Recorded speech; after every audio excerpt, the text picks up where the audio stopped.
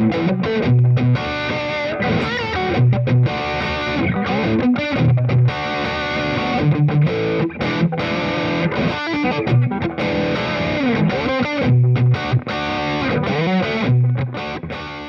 สดีครับ ผมพีจาก String Shop นะครับ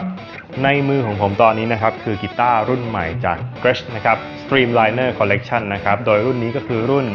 G2622 TG นะครับ P90 Limited Edition Streamliner นั่นเองนะครับสำหรับความพิเศษของรุ่นนี้ก็อย่างที่เห็นเลยนะครับ ก็คือ Pickup จะเป็น P90 นะครับ 2 ตัวเลยนะครับ